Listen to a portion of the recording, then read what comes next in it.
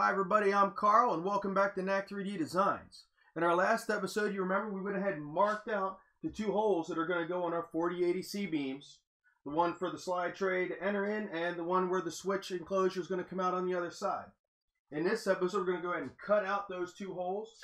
We're also going to cut out a hole at the front at tops of each of these beams for our wiring to come out and enter into our X and our Y axis. We're also going to drill four holes on the bottom and tap those out to mount our rubber feet. Now before we get started, I just want to remind everybody, if you want to help support the channel and future projects, I have a wish list and a PayPal me link in the bottom description. And with that being said, let's get started. All right, so I've got all four corners drilled out here and one hole on each side over there. Now I'm going to take my plunge cutter and hopefully cut this out nice and neat. Um, if I fail, well, you guys will know shortly.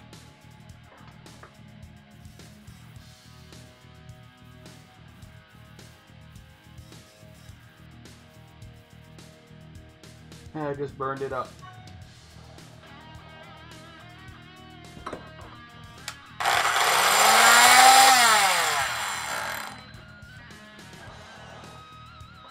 Oh, for those of you who can't see, this sucker's smoking. So we're going to give it a break.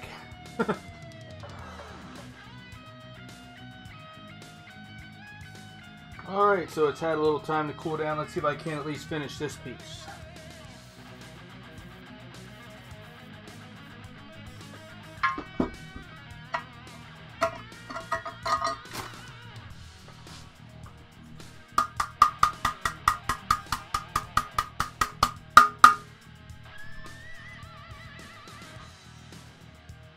Alright, there's our hole cut out. Now I'm just going to take file, clean up the edges a little bit.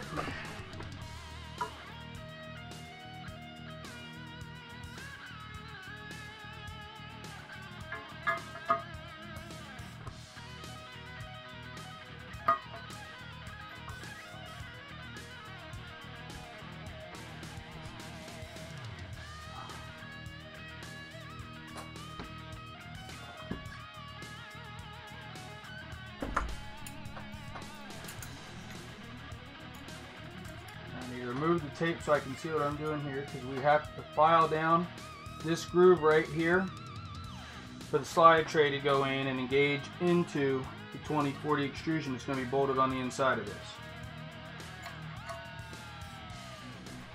So we're going to file all the way back till about an eighth of an inch from that hole, just leaving a small little strip on this side and a small little strip on this side between the hole and the notch.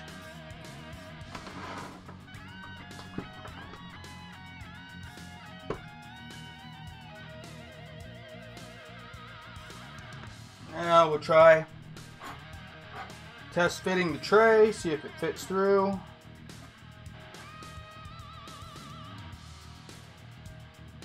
And right now that is a no, still too tight.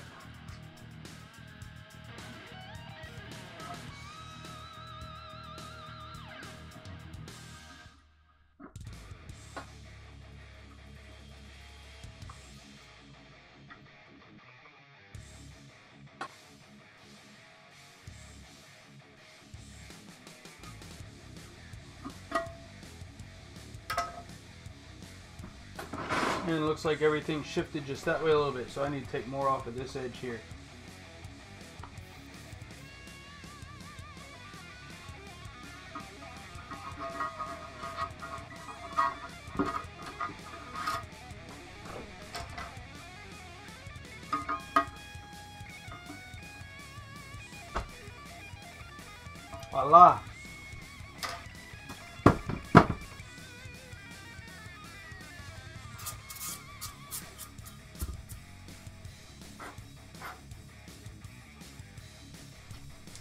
As you can see, there's our hole, and there's our notch on each side for the slide tray to go through. Only thing left to do is I'm going to pull my Dremel out with a sanding wheel and take off all these burrs in here so I don't cut my hands or the wires on it later.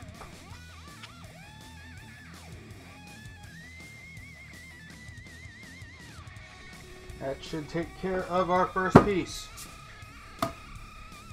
Tomorrow, because this needs to cool down some more, I'll cut the other piece. Alright, so now I'm going to try and cut out the second hole here. As you can see, I put a couple extra layers of tape because I want to be really be careful I don't skip over and mess up the anodizing. I'm going to try and cut through this top layer here first, and I'm hoping I can plunge cut through the rest of this.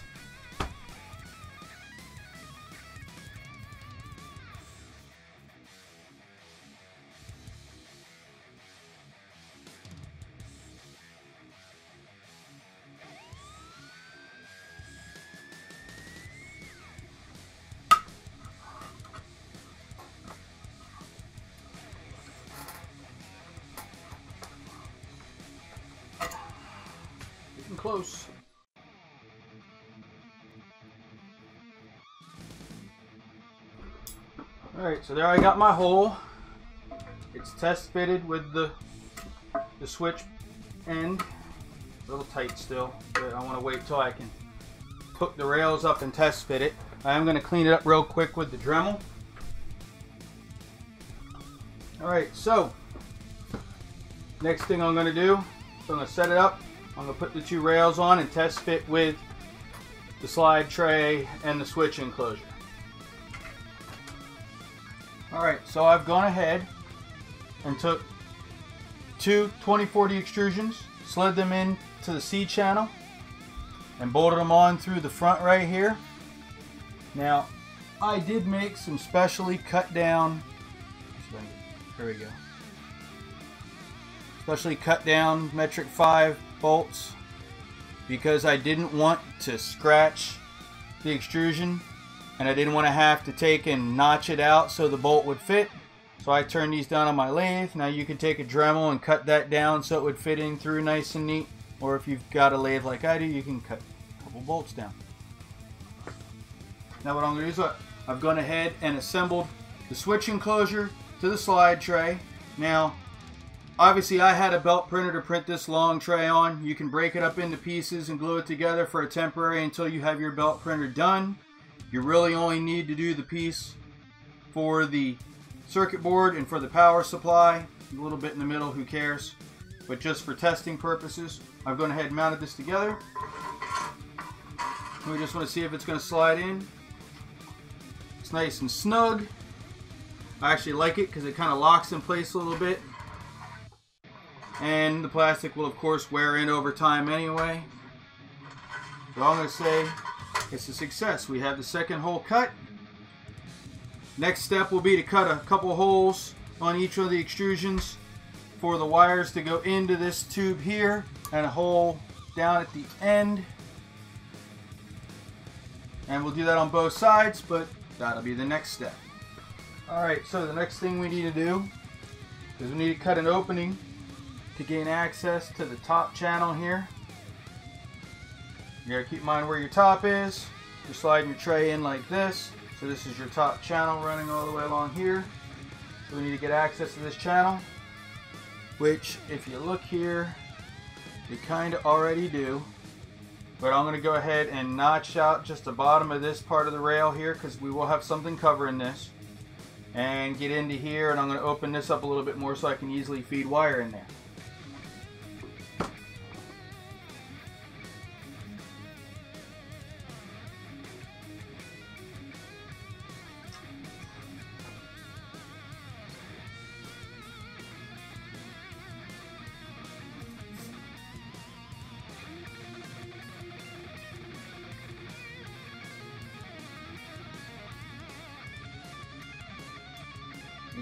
Opening right up here. That's going to get us into our channel so we can feed our wire up to the front of the extrusion.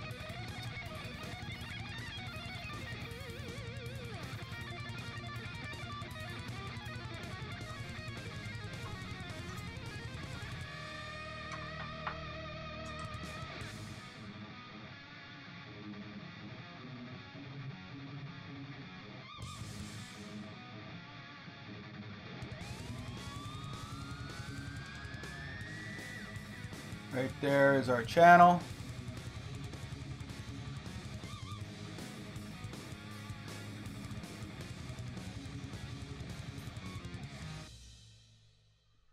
Next thing we will need to do is drill holes up here. I'll have to measure out and mark those.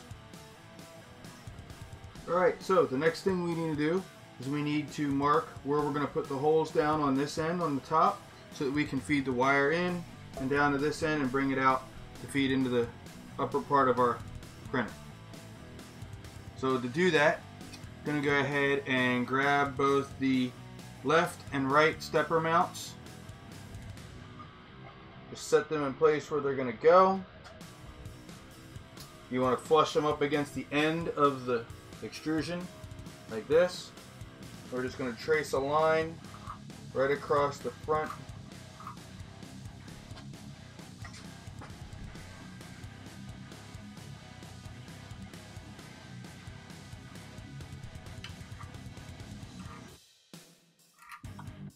just like that.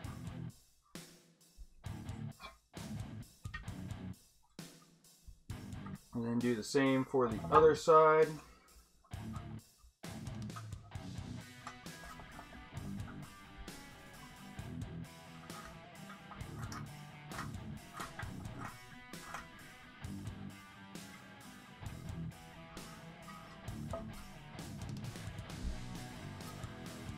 And just for people that are looking for measurements, looks like that line is 40 millimeters in from the end. What we want to do is we want to remove this center piece in this space here. I want to go about 15 millimeters. Let's go with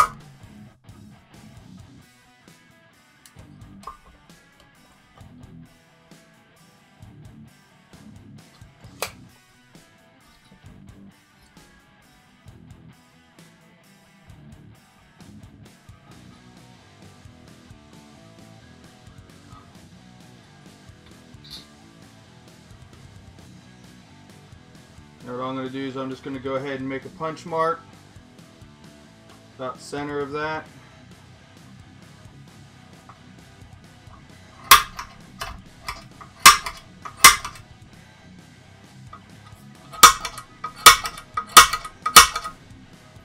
Now I'm going to drill that out as much as I can and then I'm going to try and cut around the rest. We want to just cut enough to get down into this opening. Leave us enough to feed a bundle of wires up through it.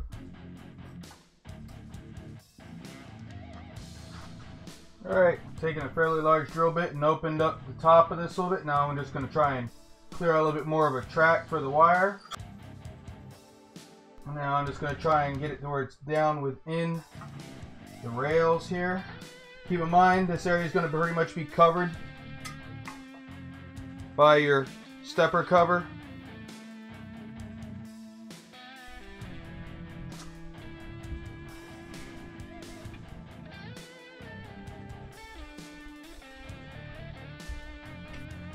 Now, just to give everybody an idea of what we've been doing, we're going to feed our wire harness in through this opening.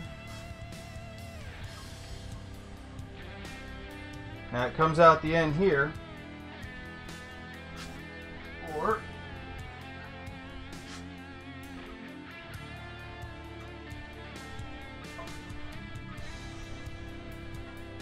Now we can pull the wire out the top. We'll be able to run it up those diagonal extrusions for our y-axis. The wires that come down, let's see. This is our switch side, so this is going to be the whole bundle that comes up to the top and down to the the hot end. So Okay, so again I've got a good hole started already. Now I just got to cut it down so I can bring the wires out a little bit to the left or the right to avoid the stepper motor, the belts, and such. Alright, and we have four last holes to drill, and then we are pretty much done with these bottom extrusions. Alright, so right now we're looking at the tops. We need to look at the bottom of both pieces.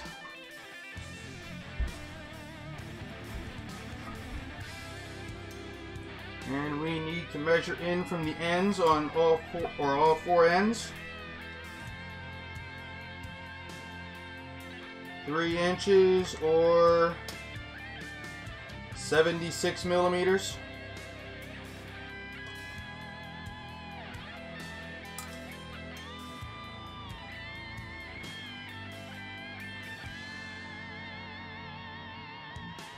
And then you need to find the center, obviously. So we're in 20 millimeters, since it's a 40 by 20 extrusion. Being a 40 by 80 extrusion.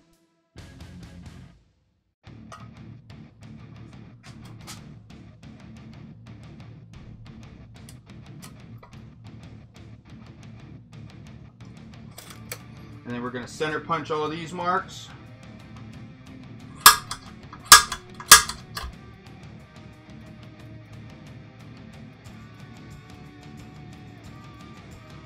And now for these, they're going to be to hold our rubber feet in place.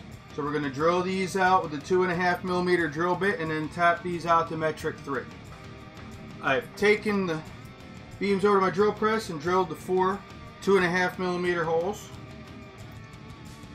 Now I'm just going to tap them out with a metric three tap.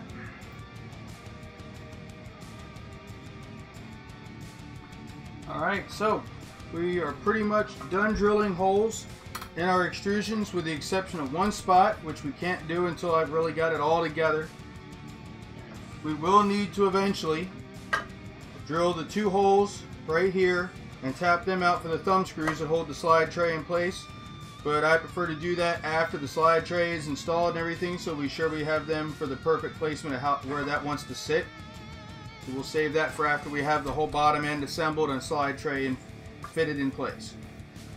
Next thing to do is go strip all this blue painter's tape off and hose these pieces down and try and get all the little filings and everything out of it because we really don't want them getting on our circuit boards or in our wiring or anything. So I'm going to clean these up and we'll be back. Alright, so that wraps up cutting all the holes in our 4080 C-beams. Coming up, we're going to assemble the bottom part of the chassis we're going to install some heat sets in our plastic printed parts and we're going to install some idler pulleys and bearings and stuff like that in it. So uh, lots coming here real soon as fast as I get this video edited. So uh, thanks for tuning in and we'll see you soon.